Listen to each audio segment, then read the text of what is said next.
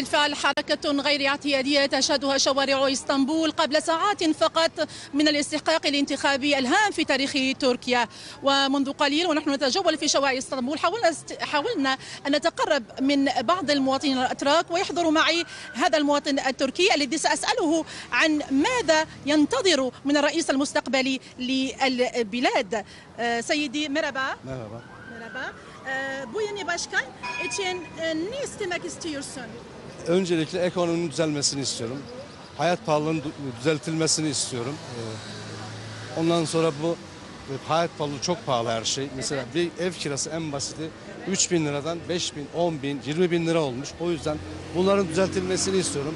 Hayat gerçekten çok pahalı. Ee, Bir insan yani bir evin geçimi artık 1000 dolar, 2000 dolar olmuş artık çünkü hayat çok zorla, zorlaşmaya başladı. Bir de artı bu göçmen şeyini istiyorum. Çünkü Türkiye bir göçmen yuvası gibi oldu.